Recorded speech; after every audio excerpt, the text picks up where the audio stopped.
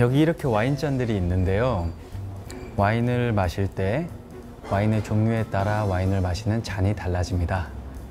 그래서 오늘은 와인잔에 대해서 한번 알아보는 시간을 가져보도록 하겠습니다.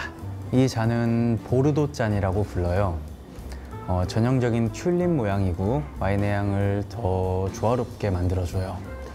탄닌의 텁텁함은 줄여주고 어, 조화로운 와인 향을 느낄 수 있게 해줍니다. 이 잔은 부르고뉴 잔 혹은 버건디 잔이라고 불러요. 보르도 잔보다 훨씬 짧고 뚱뚱해요. 볼 부분이 넓어서 공기와 접촉하는 면적이 넓다는 게 특징입니다. 면적이 넓기 때문에 와인의 향을 더욱 풍부하게 만들어준답니다. 이 잔은 화이트 와인 잔이에요. 보통의 레드 와인 잔보다 덜 오목하고 지름도 작고 용량도 작아요.